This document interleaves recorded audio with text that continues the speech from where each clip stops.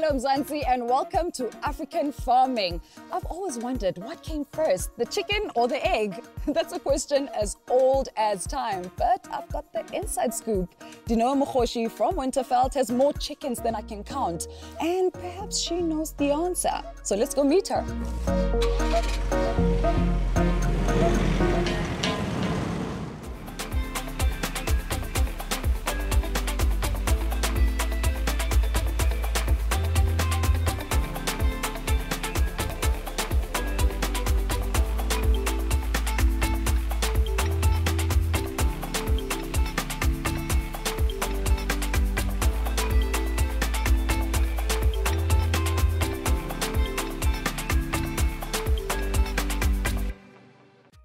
Dineo Mokgoshi ran several businesses in the hospitality sector before deciding to follow her passion in farming. She soon realized that part-time just won't cut it. And so she dedicated herself completely to building her own empire. Like all farmers, she has faced her fair share of bumps in the road. But with the support of her family, she has learned that to make a cake, you've got to break a few eggs. Now her enterprise boasts laying hens, sheep, goats, and cattle.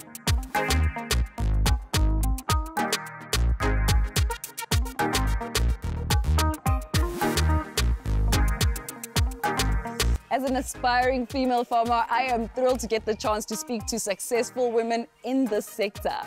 As Dineo, you are one of those women. Yes. You ran successful businesses. You had a catering company, a tourism enterprise, and then you changed direction to become a farmer. Yes. Why is that? I look at it farming and I saw farming is the way I want to go. I told myself I want to do all my things at one place. So now I wake up, I go to the chicken houses, I'm focusing on my animals. So I love that now. What about farming appealed to you? Oh, it appears as a business. As a, uh, it's a career, yes, but it's a business also. So I'm just so happy in farming. You started farming full time in 2016. Yeah. And then I look around, and this is a sizable enterprise. Yes. How did you get here? Uh, to do farming, you must have passion, first thing. I'm a person who like to read. So my mentor, it was through the books. I was reading. When I want to do a thing, I read. And after, then I approached the ARC. It's where I get a lot of knowledge from ARC.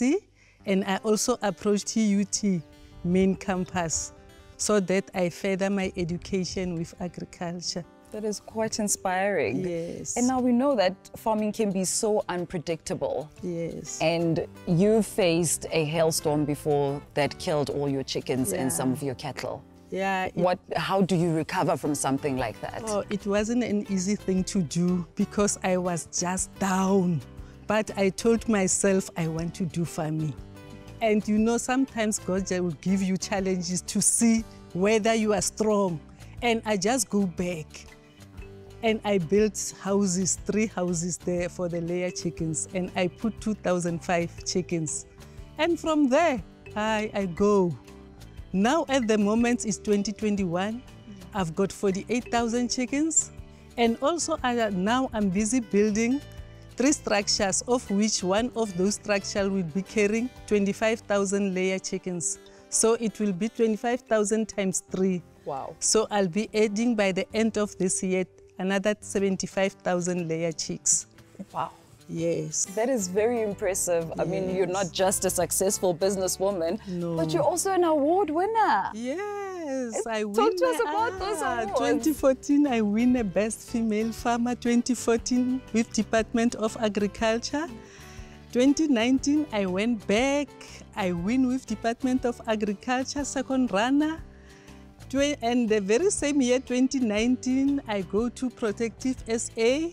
Mm. I win province and national, the first runner. So 2020, there was nothing. It was a COVID. But when everything is done, I'm going back. You're I going know. back. Now, what advice would you have for aspiring female farmers out there, or just any other farmers out there? Oh, they must be strong and they mustn't be shaken with small things. You know, in farming, when you fall down, you wake up and take the dust, Dust out it and go. Yes. I love that. Yes. Osdineo, how do you balance it all? Running this farm, and you also have a big family. How do you do it? Ah, my kids are big.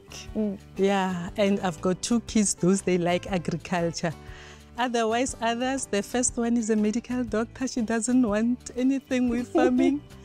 Wow. Another one is a civil engineering. So I'm just running my things equal. So, who are the two that want to be involved in the farming? Yeah, it's my daughter, is a chartered accountant, mm. Jessica Mokgoshi, and also my grandson, Bokang Mokgoshi, and Opelu Mokgoshi. Those ones are the ones those that are in that are with me in farming. I'm preparing for them actually, so that they must carry the battle. You said you want to retire at 60. Yeah, no, That's it, not right? at 60. Is it before 60? 58 i want At to 58, retire that's yeah and hand time. over and by that time i want all my houses they must be finished so that these kids they must take the battle You're showing a lot of strength, and that's inspiring. oh thank you lindy Engineers, medical doctors, chartered accountants. Wow, this family is on fleek. Osdino, let me leave you to put your boots on because we have a lot of work ahead of us. And in the meantime, we will head out to speak to the husband of this successful woman.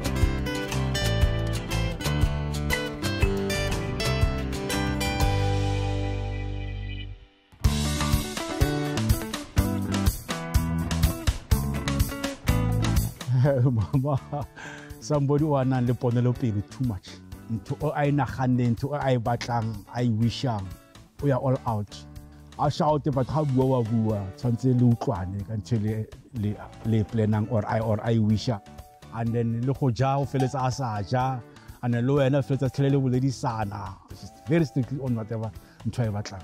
If go na le bothata re se dispute seriously uh, re feletsa re biditse bo joshua le bana re- le o mong le o mongwe discussa le bana but in the end of the day re feletsa re utlwane bana ba re advisitse le joshua le mogara a rona then re- eo a e batlang There's so much success on this farm and still so much more to achieve. When we come back, we'll find out more about Dineo's farming practices and her goals for the future. Stay with us.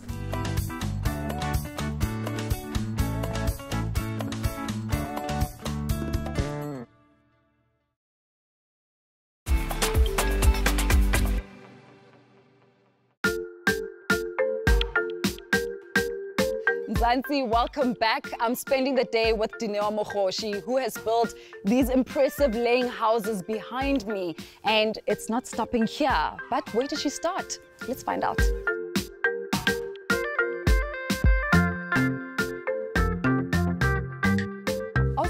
I I promised the viewers I'd ask this question because you are the expert. Yes. For you, Osdineo, which came first? Was it the chicken or the egg? no my livestock is the one that came first oh. reason why i, I start with my, li- my livestock because of i need a cash flow and then i'm thinking so that i must do something mm. And 2013 i buy a structure that carries uh, 60 60000 boiler chickens but my structure it was washed off the very same year with the chickens and uh, 2014, I went to enter the best female farmer at the Department of Agriculture. Fortunately, I win that year. And I take that, that money. I also sell my bulls. I build these three houses. And fortunately, there was a tender that came to Ekurhuleni for egg supply. And I go to that tender and I win again. So that tender needs about 100 bucks Yes. a week, and I don't have, I've got only 2005 chickens. And I went to outsource eggs at Mahalis. You can just imagine, I have to wake up 3 o'clock to go and outsource eggs at Mahalis. But I was, I was okay because it's the work I love. And now I'm so happy because I've got 48,000. I have built houses from that tender. It helps me a lot. Wow, well done. Yes. What's the difference between boilers and layers? The boilers is the chickens that we eat, that we do like uh, meat, the, the dry packs. And the layers are the chickens, those lay eggs. Yeah, it's two different things. You must know them. You cannot mix a boiler and the layers. It's impossible If it's to. layers, it must be layers. What is the lifespan of a laying hen? Uh, the laying hen, the lifespan is 12 months. And after 12 months, we can sell them. The workers, they come to the farm, buy the chickens and go and sell. All right. Your main focus here is selling of eggs. Where do you sell them? yes, we sell our eggs. We give wholesalers, we give the hospitals, and we also give the prisons.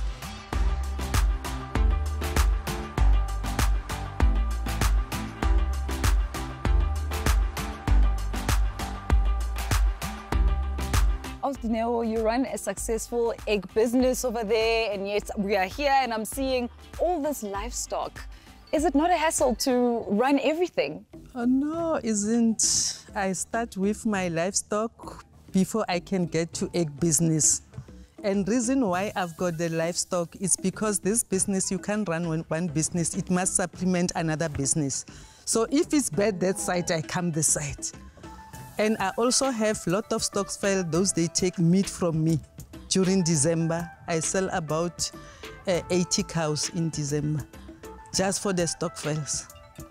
Goodness, you see the importance of not putting all your eggs in one basket. No, you can't. You can't. You'll go down. That business is very tough.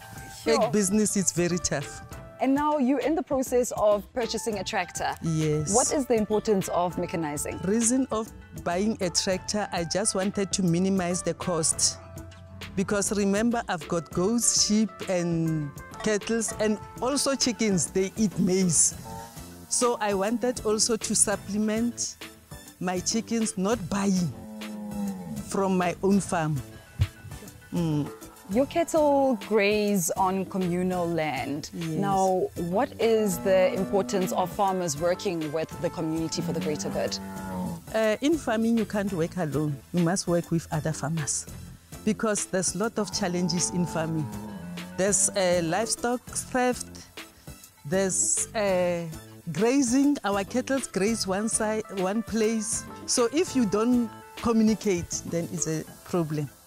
And another problem, Mama Kore, when you're there at that communal land, the water where the cows drink is quite polluted. I mean, what is the solution for that?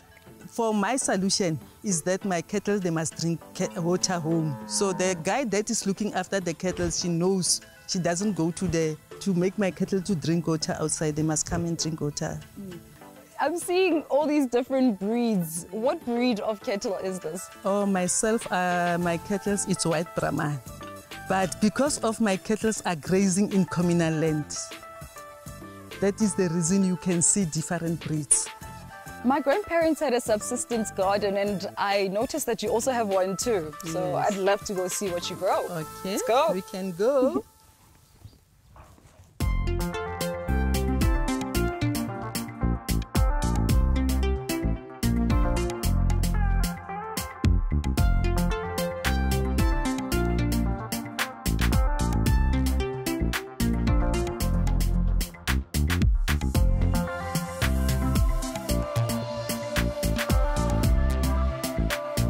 Here on the foundation of your next laying house, here's to the 480,000 chickens in the future.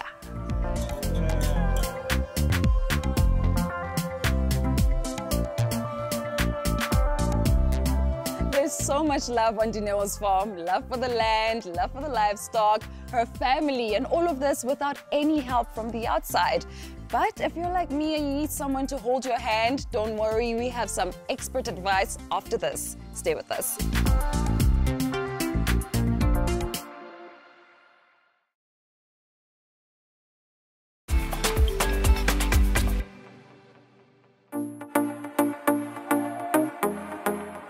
Welcome back, Mzansi, to African farming. On Dineo's farm, we learned that in order to grow a farming enterprise, you have to commit to it 100%.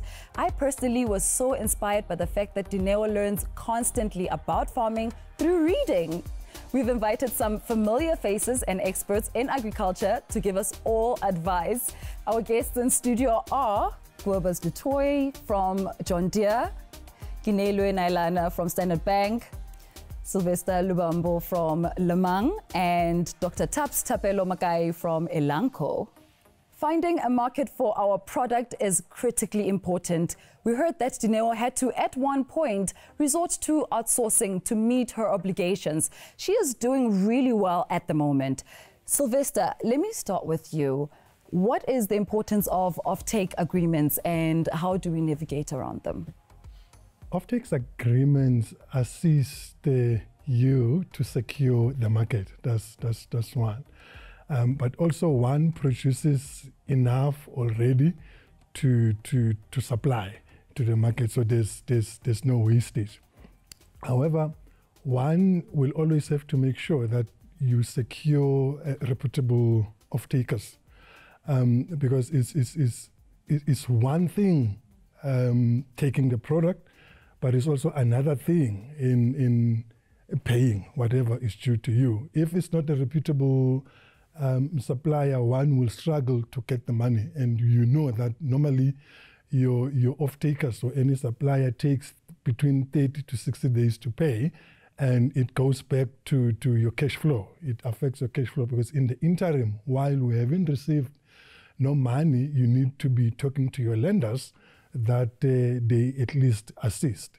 Mm. So yeah, for for for one to to, to really look at off, off takers, one needs to make sure that it is reputable off takers. We know that biosecurity is critically important, especially in the poultry and pork industries. Dineo specifically chatted to me about this issue when I visited her. Now, Dr. Taps, how can we successfully implement biosecurity measures and why is it so important? So, I would want to just quickly recap on what is biosecurity. Mm, uh, yes. I, I, think it's important for biosecurity first and foremost, you try to stop diseases coming into your farm and malwetse ao e loreng a ka hara polasi ya you try to prevent them from leaving your farm so basically you contain so with biosecurity it's important for farmers to know that you know once they decide to go get another animal or if they bring chickens in or whatever the case may be they need to be able to quarantine the animals first before they can you know mix them with the already existing animals on the farm.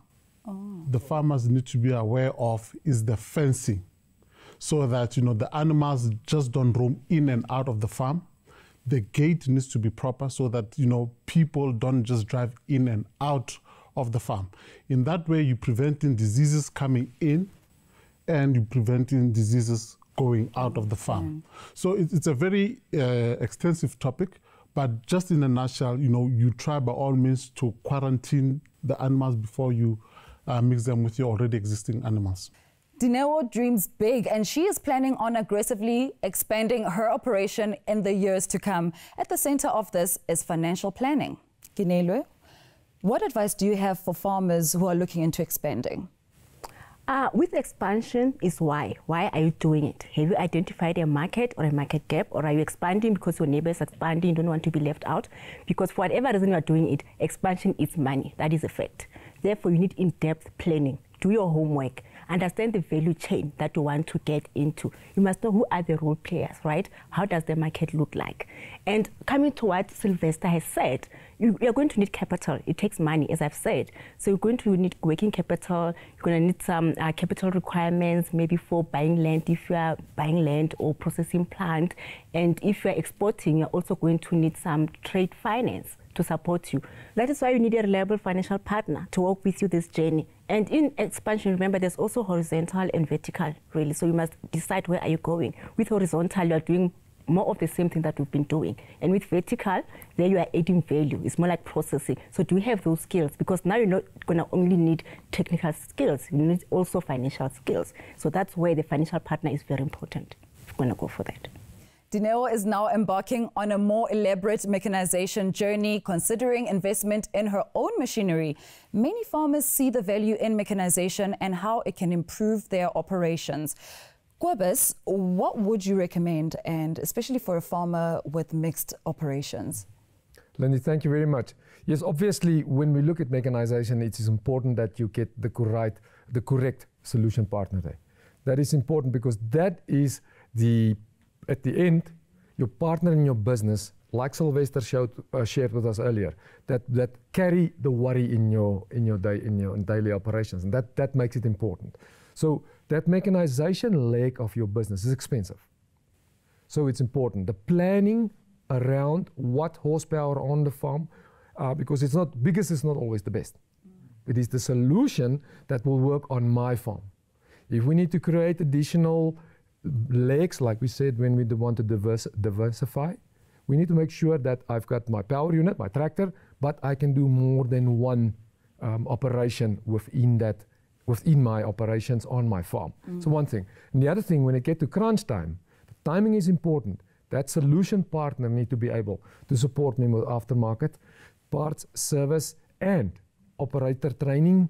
Also make sure that my operator is aware mm. of how to use this equipment in the right in the right fashion and to give you the benefit of that product that you that you put into your solution mix. Let's get some final thoughts. Let me start with you because you're right next to me, Kobus. Lindy, thank you very much. I would say mechanization is a big step. So it's important that you make sure you get a reputable partner that understands the full spectrum of your business. That is your seasons, your crop, and then as well have the ability to have to get your equipment running during season if there is any challenges. So the main line, and like our, our panel um, friends here discussed it earlier as well, make sure you work with a strategic, reputable partner. Very important. Thank you. Dr. Taps? Yeah, so I think one, one takeaway message is that we need to remember, especially for the emerging farmers, is biosecurity.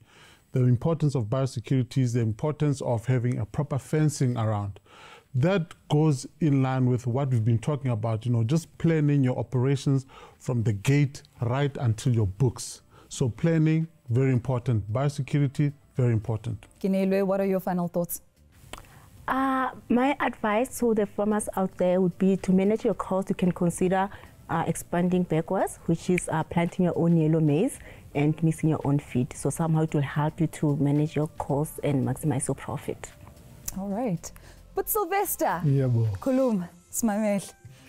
Um, I'll say, although um, an off-taker is, is a good thing for a small farmer, um, it can also work to to a farmer's disadvantage uma ingakwazi deliver.